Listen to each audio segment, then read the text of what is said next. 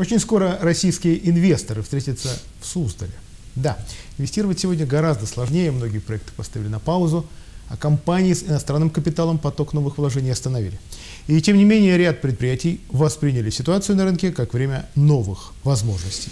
Об этих проектах и поговорим здесь и сейчас. В студии Максим Никеров, руководитель агентства экономического развития Владимирской области. Максим, здравствуйте. Добрый вечер.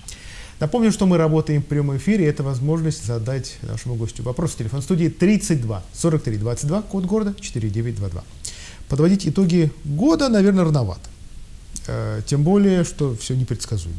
А, и все же, каким этот год, не, не, не, ну, не полный год или полугодие, выдалось для Агентства экономического развития Владимирской области, учитывая, что структура все-таки довольно молодая, два года существует.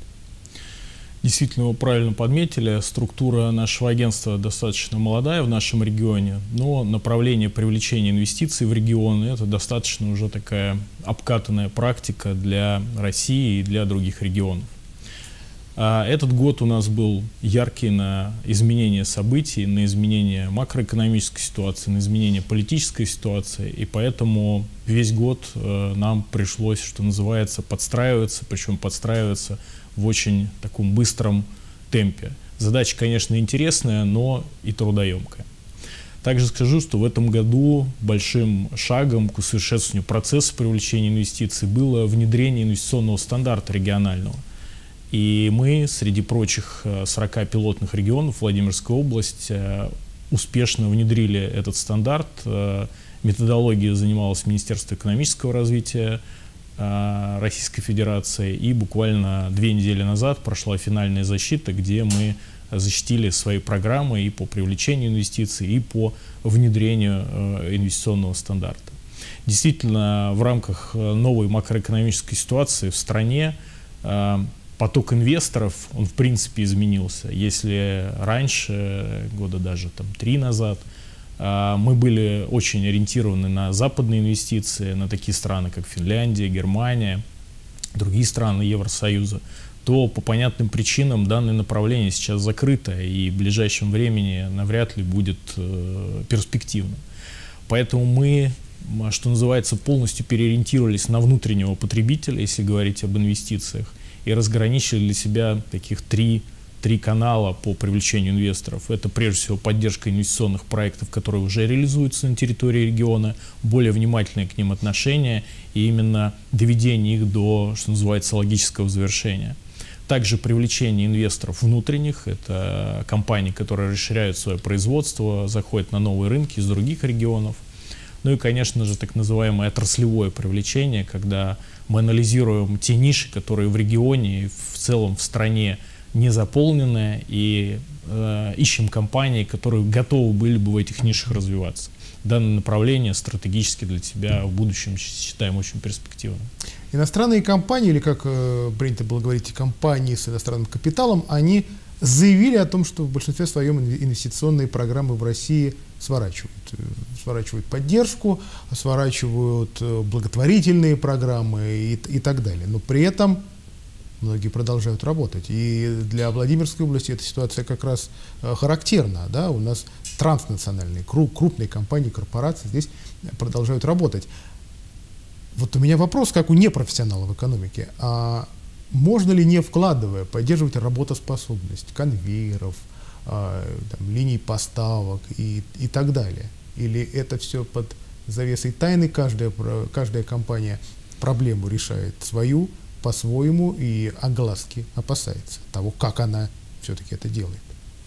Действительно, для западных компаний работа на российском рынке в нынешних условиях, помимо экономической конкуренции, ее никто не отменял, и борьбы за рынок, и борьбы за потребителей, она еще осложняется и тем, что компаниям действительно нужно теперь функционировать в других условиях, потому что, как раньше говорили, бизнес as usual теперь невозможен.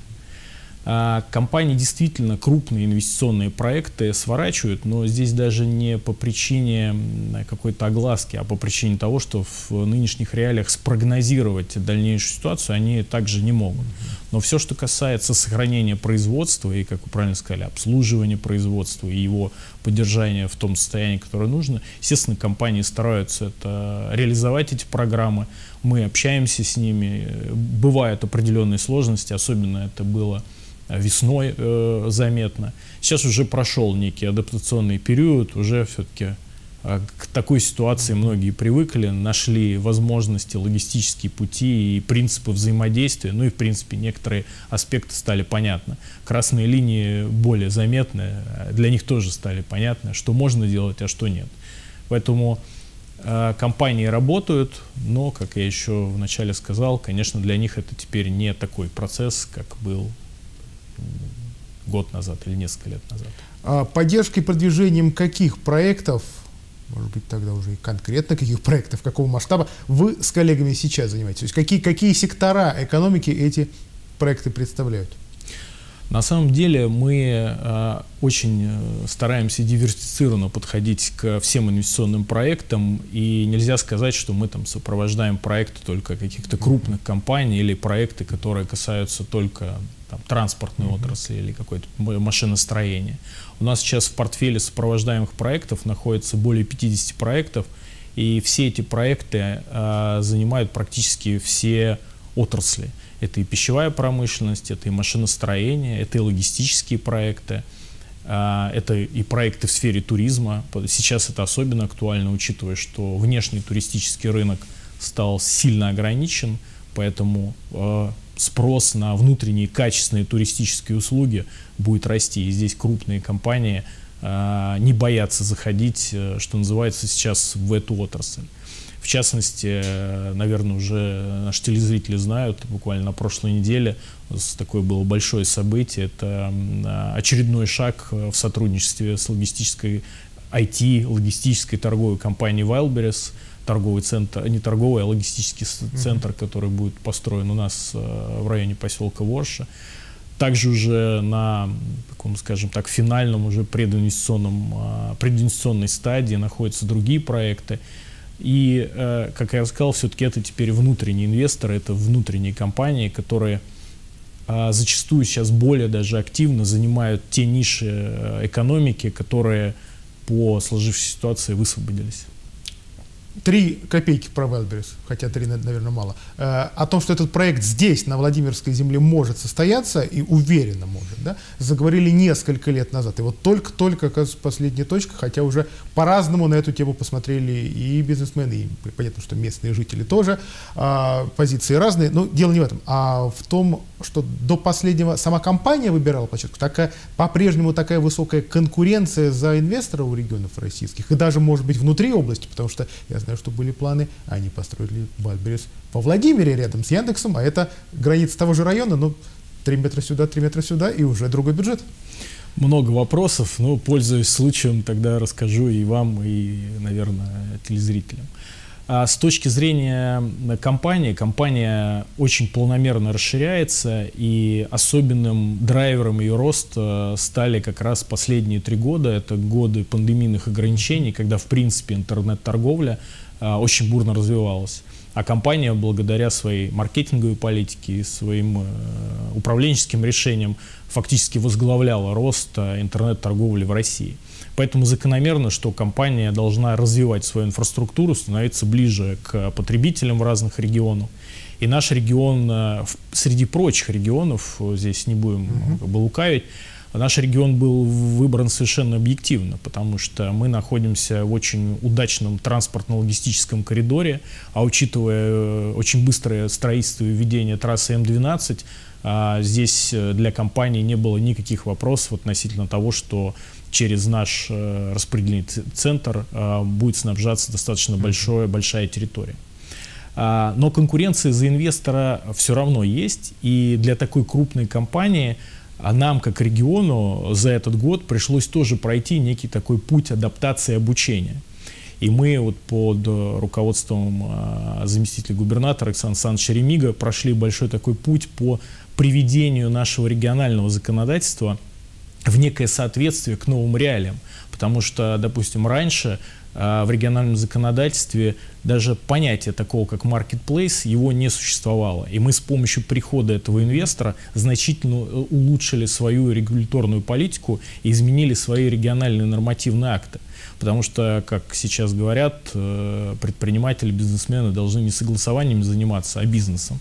Поэтому наша задача здесь, как органов э, власти и там, структур, которые сопровождают эти проекты, давать качественную обратную связь и адаптироваться под эти новые условия. Вы упомянули туризм, добавим интернет-торговлю. Какие направления вложений а, основательно просели, а какие, наоборот, вот настолько э, весомее стали для экономики?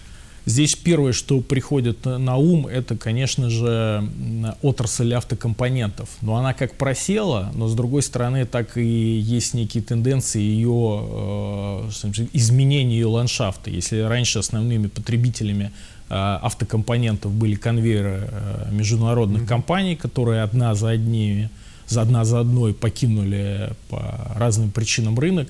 Соответственно, огромный объем этих предприятий, компаний, которые производили продукцию для конвейеров, они ищут, э, ищут территории, как перераспределиться.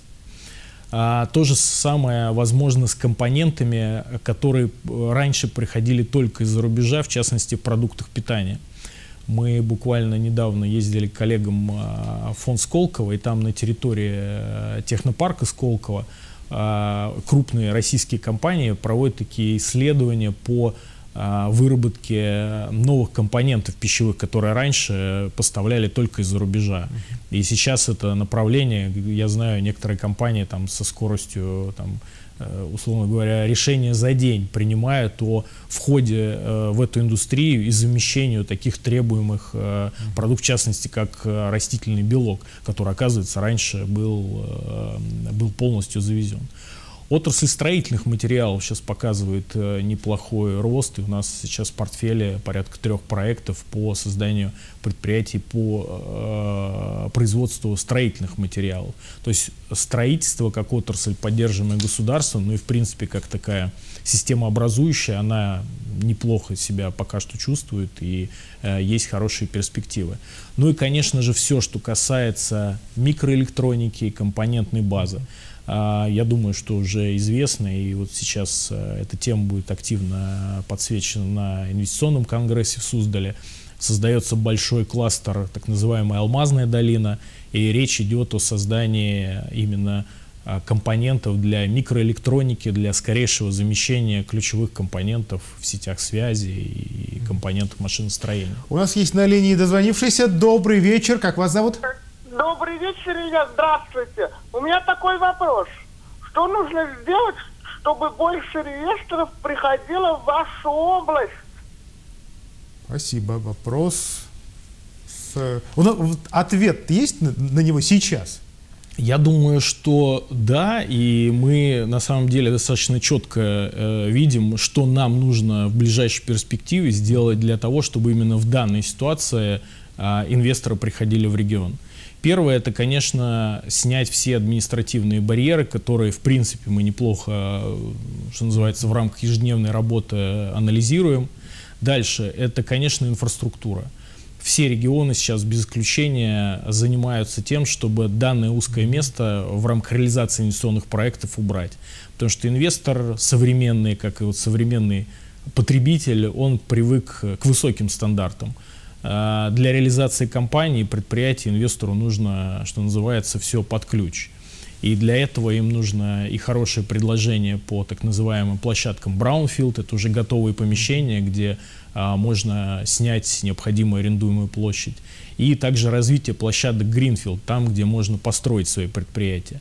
Наш регион сейчас по поручению губернатора уже проработал такие площадки. Наши коллеги, корпорация развития Владимирской области, в частности, сейчас прорабатывает большую дорожную карту по развитию а, пяти таких а, индустриальных площадок. Потому что это очень важно для прихода именно новых компаний, новых инвесторов, чтобы не, ничего не сдерживало инфраструктурно развитие их проекта. А, ну, да, извините, хотел уточнить. А, вот те проекты, о которых вы говорили, отвечая на предыдущий вопрос, это проекты, в первую очередь, с нуля или это развитие готовых проектов расширения, если угодно, ну или диверсификация? Я думаю, что 50 на 50. Есть много проектов, которые расширяются, и их расширение, оно обусловлено там взрывными, скажем, там темпами потребления продукции.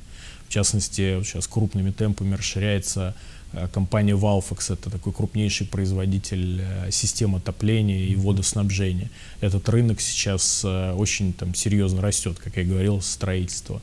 Многие другие компании, и ввиду того, что большие, большие группы товаров ушли, либо их логистика и их завоз на территорию России стал просто дороже или не, не так удобен. Mm-hmm. А часть компании это, да, это действительно новые проекты, но новые, они, может быть, для нашего региона, как я говорил, это может быть расширение производств других регионов. Об адаптации компании региона к новым условиям в конце прошлой недели рассказывал прессе замгубернатора Александр Ремига. Я предлагаю вот как раз его и послушать.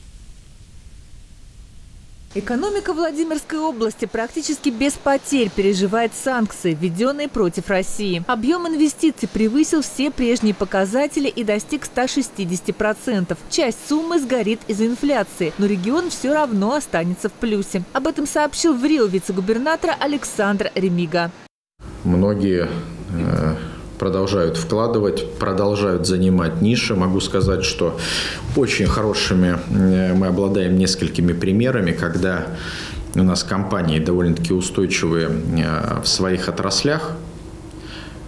Э, после того, как западные компании начали уходить с нашего рынка, наши компании, в том числе с нашего региона, начинают занимать эти ниши. Активно поддерживает регион развития экспорта и импорта даже на фоне санкций. Предприниматели наладили контакт с поставщиками из восточных стран. Одна из владимирских компаний поставляет современные инструменты для промышленных предприятий по всей России. Качественную оснастку привозит из Китая. Еще часть комплектующих параллельным импортом из Европы. Наша молодая компания развивается в условиях меняющейся экономической и геополитической ситуации.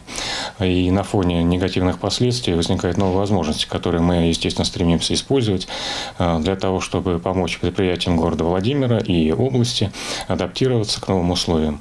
Э, наша задача – это обеспечение предприятий машиностроительной отрасли металлорежущим инструментом и оснасткой. В Белом доме считают, что поддержкой для бизнеса станет и Владимирский инвестиционный конгресс. Он будет проходить в Суздале с 1 по 3 декабря. Впервые на форуме организуют выставку-презентацию. Свою продукцию представят десятки компаний.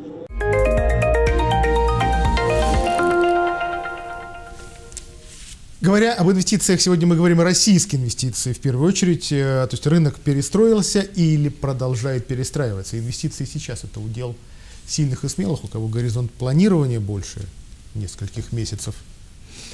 Я думаю, что э, сейчас э, и те, кто, что называется, с более продуманной позиции, с холодной головой инвестировал, но и к ним добавилось много людей, которые готовы более активно пользоваться ситуацией, которая сложилась на рынке.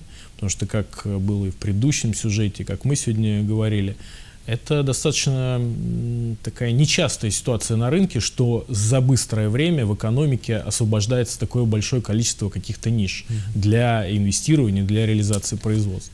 Потом, по нашему мнению, необходимо учитывать еще тот фактор, что достаточно большой сектор экономики, так называемый спекулятивный, финансовый, он просто перестал существовать, так как свободное обращение валюты, свободная продажа э, ушла из видов, из инструментов дохода. И, соответственно, для сохранения достаточно большого количества денег в любом случае их нужно вкладывать в экономику. Остается реальный сектор. Отсюда мы в марте и летом, да и до сих пор мы получаем гораздо больше сообщений, предложений о том, что а, какая-то компания готова проинвестировать в а, упакованный инвестиционный проект, и на самом деле сейчас это подстегивает уже а, предпринимателей, стартаперов для того, чтобы создавать такие проекты. Потому что раньше такого предложения проинвестировать в ваш проект, его либо не было, либо оно было очень э, таким эпизодическим. Вот из тех компаний, из тех предприятий, проектов, у кого инвестиции на стопе, кто-то за, ну, кто, кто официально так заявил, у кого-то за эти месяцы поменялась позиция? То есть вам известны такие проекты Владимирские, где решили, ну ладно, все, теперь правила игры другие, но они понятные, играем? Я позволю себе, ну, не называя компанию, mm-hmm. но примеры совершенно очевидные. Стоп э, в основном э, получался, так называемый стоп в реализации проекта, получался в основном из-за невозможности получить то оборудование, uh-huh. которое компании закладывали при проекте. Uh-huh. Это было наглядно в конце зимы и весной, но летом э, данные правила игры уже стали более-менее компаниям понятны они оценили возможность получить либо тоже оборудование, но другим способом, либо уже сейчас ведутся работы по корректировке проектов и замене этого оборудования на оборудование производителей других стран. С точки зрения каналов продаж, сейчас уже тоже в основном экспортеры переориентировали свои потоки. Не скажу, что а, на 100%, но основные, основные продажи, основной пакет, э, он уже адаптируется, и вот в частности наша тоже структура, региональная центр экспорта в этом а, помогает предпринимателям. И когда у наших инвестпроектов возникают э, такие вопросы, мы стараемся синергетически э, этот вопрос решать. Я вот вернусь к, к вопросу нашего телезрителя Игоря о том, какая поддержка сегодня требуется инвестпроектам. Вот если говорить о приоритетах в э, том, какая поддержка нужна, это вопрос площадей, коммуникаций, налоговых э, преференций, корректировок законодательства, а может быть маркетинг, может быть информационная какая-то, ну то есть вот то, где сильна именно Владимирская область. Вот, вот что в первую очередь? Вы знаете, здесь э, как и раньше, так и сейчас э, наблюдается стабильность. Инвесторам и до 2022 года, и сейчас нужны все инструменты, которые помогают их проекту быстрее запуститься, стать более устойчивым, найти э, партнерские связи, а сократить срок окупаемости проекта за счет снижения капитальных затрат.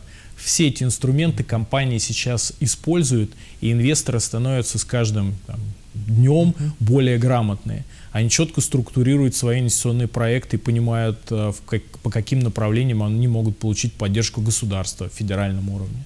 Они точно анализируют законодательство региональных органов власти, понимают, в каких регионах что могут получить они смотрят не только на экономику, инфраструктуру, но также уже сейчас переходят и к так называемым некапитальным э, мерам поддержки. В частности, мы, понимая один из таких ключевых факторов, как человеческий капитал, э, большую работу сейчас проводим в направлении того, чтобы инвестор – к моменту, когда запустится его предприятие или его проект на территории региона, Кадры получил готовые? уже получал угу. и упаковывал, uh, упаковывал свой проект готовыми кадрами. Угу. Естественно, не на 100%, кого-то он перевезет из другого региона, но uh, в, в частности у нас большой проект, э, даже идет проект, проект «Наше будущее», в котором мы совместно с студентами рассказываем молодежи э, университетов о тех компаниях, которые в регионе работают, о том, что есть интересная, высокооплачиваемая, перспективная работа. И многие компании у нас стали уже такими передовиками своего HR-бренда. Uh, многие компании уже очень глубоко в этой теме, и мы, показывая опыт этих компаний, даем другим пример, что сейчас, помимо вашего сырья, инфраструктуры, кадры это является тоже важнейшим вашим рыночным преимуществом и инструментом в конкурентной борьбе. Поэтому здесь мы подставляем тоже свое плечо. О предстоящем Суздальском инвестконгрессе чуть позже, ну а пока о том, что слово «перестройка», кажется, в наши дни приобретает новый смысл. Об этом сюжет моих коллег.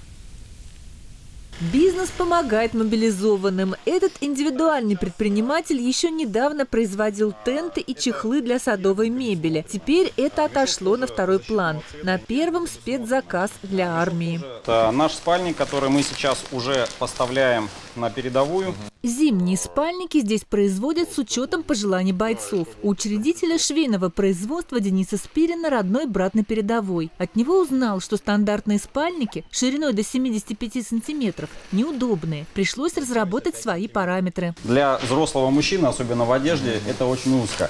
Соответственно, мы сделали версию 90 э, сантиметров. Перчатки тоже новинка, еще даже не запущены в производство. Теперь важно, чтобы хватило непромокаемой ткани. В последние месяцы спрос на нее возрос. На основу-то как бы из тонкого материала шьется. С этим посложнее, почти как каждую единицу приходится вырезать вручную. Но мы стараемся, работаем. В месяц на этом предприятии могут делать около тысячи спальников. Также для военных здесь производят термоизоляционные коврики. Мы определенную партию, то есть 50 э, спальников и 50 туристических ковриков, э, мы передаем в фонд области бесплатно. Да, мы будем закупать, все это уйдет на передовую. Другое киржачское предприятие наладило выпуск печек. Легких, надежных, универсальных. Могут работать на разных видах топлива. Должна быть возможность отопления и на на дизельном топливе, и на отработанном масле, и на дровах. Поэтому предприятие, по сути дела, э, в порядке такого уже военного неокра быстро адаптирует э, разработку под, э, под нужды, там, под блиндажи, под палатки, под полевые условия и так далее. Такая печка согреет и бойцов на передовой, и жителей, например, Подшефного до Кучаевска. Производство поставлено на поток. Ребята остаются и в после рабочее время для того, чтобы собирать данные изделия и помогать жителям, которые попали в непростые условия, э, солдатам, э, помогать как можем. Да, это то, что мы делаем хорошо. Тепловая техника – это э, наша специализация. Отмотаем два с половиной месяца назад. Э, Осенью во Владимире провели промышленный конгресс, который посетил полпред Игорь Щеголев. Как бы вы оценили эффект от такой посл- э, представительной встречи с, промышленной, э, с, с промышленниками региона, учитывая, что его в первый-то момент, может быть, еще и трудно понять. Вот, вот прошло, прошло время, вот как этот эффект ощущается сейчас? А, Мы видим, как основной эффект от таких мероприятий – это эффект такого, знаете, очного общения. Потому что в череде э, быстро меняющейся ситуации и огромного количества проблем у каждого предприятия, у каждого бизнеса, что называется, каждый день в рутине, иногда исключается возможность этим предприятиям, этим компаниям между собой встретиться и что значит, обсудить и переговорить какие-то свои внутренние проблемы и решения. Мы видели много таких диалогов, когда компании друг с другом делились относительно как они поменяли поставки тех или иных материалов, что у них сейчас а, с платежами в иностранных банках. Они делились, и это самый главный эффект. Но и второй такой большой задачей э, этого конгресса было обсуждение уже практически готового большого, большой законодательной инициативы, которая, в частности, будет обсуждаться сейчас и на Суздальском экономическом конгрессе. Это поддержка а, и развитие ответственного ведения бизнеса, так называемая ЭКГ, экология, кадры и государство, где а, бизнес и органы власти как раз на нашем форуме обсудили а, параметры и аспекты, как как поощрять ответственное ведение бизнеса, которое в нынешних условиях очень важно. А теперь Суздаль, уже очень скоро, новое мероприятие, большая встреча бизнесменов, третий Владимирский инвестиционный конгресс. Опять же, это скорее такая витрина региона. Будем встречаться, будем разговаривать, или это площадка для заключения серьезных контрактов, или, или опять же, учитывая ситуацию, пока главное об этих контрактах начать договариваться. Действительно, для нас это уже третий раз э, Владимирский инвестиционный конгресс. Мы очень рады, что традиция продолжается. И э, правильно вы поставили вопрос. Основной задачей проведения конгресса для нас, для региона, для бизнесменов, для органов власти является именно продвижение региона во внешний контур.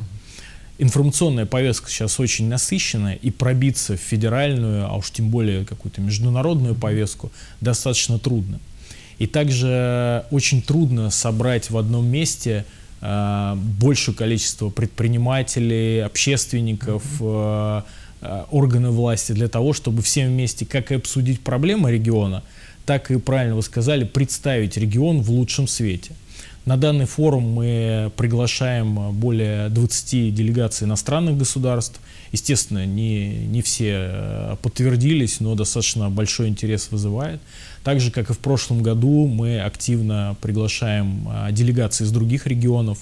Многие регионы уже не первый раз к нам поедут, и для них эта площадка тоже очень важна с точки зрения обмена опытом, а также с точки зрения кооперации. Потому что в этом году э, слово «кооперация» в рамках нашего форума э, имеет очень важное значение. Потому что с учетом изменения логистических цепочек, э, цепочек продаж и, и цепочек расчетов, кооперация между предприятиями внутри регионов очень важна. А порой бывает предприятия внутри региона не очень хорошо знают друг друга, не говоря уж о том, чтобы была возможность познакомиться с предприятиями из других регионов. В частности, у нас будет на форуме несколько форматов. Это, естественно, деловая программа. А у нас будет проходить более 30 различных круглых столов тематических сессий, которые будут касаться и финансовых мер поддержки, и, как я уже говорил, развития кадрового потенциала, ответственного ведения бизнеса. Также семинары, связанные с кооперацией и развитием отдельных отраслей. А также хотим в этом году уделить большое внимание развитию инновационного предпринимательства с нашими партнерами фондом Сколково. И учитывая то, что теперь экономика в стране, что называется, становится более самодостаточной, много поговорим о креативных индустриях, промышленном дизайне и, конечно же, туризме. Чем, на ваш взгляд, форум, не форум, конечно, конгресс, а, сможет удивить? В этом году у нас будет новый формат. Если первый конгресс, который проходил в рамках пандемийных ограничений, был исключительно онлайн, то в прошлом году мы сделали уже гибридные форматы, когда сессии проходили и э, с фактическим присутствием э, участников и онлайн, то в этом году у нас добавляется новый формат, это выставка. А, в этом году мы представим уже воочию продукцию разных компаний региональных и сможем гостям, что называется, уже не только рассказать, но и показать. Ну и самое главное, пользуясь э, наличием такого города, под от... музея под открытым небом, всех приглашаем в Суздаль. Спасибо большое вам, Максим. Успехов и еще раз успехов, потому что это успех не только ваш личный. Спасибо большое. Всего доброго. На сегодня все. Завтра на прямой линии с нашими зрителями руководитель Коврова Елена Фомина. У вас есть к ней вопросы? Задавайте в соцсетях сейчас или по телефону эфира завтра после 7 вечера. И до встречи.